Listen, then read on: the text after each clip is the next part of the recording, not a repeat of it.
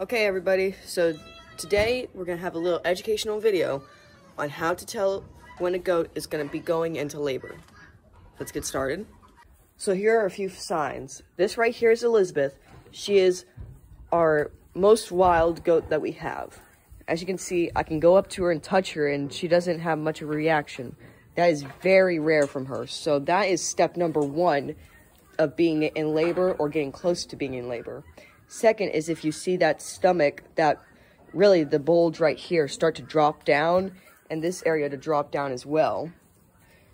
Third is to see if they have any goo coming out of their private lady part.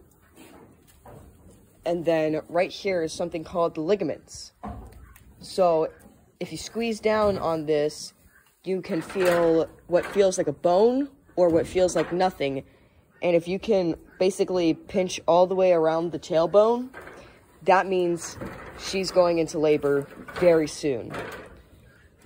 And another way to tell that she's, you know,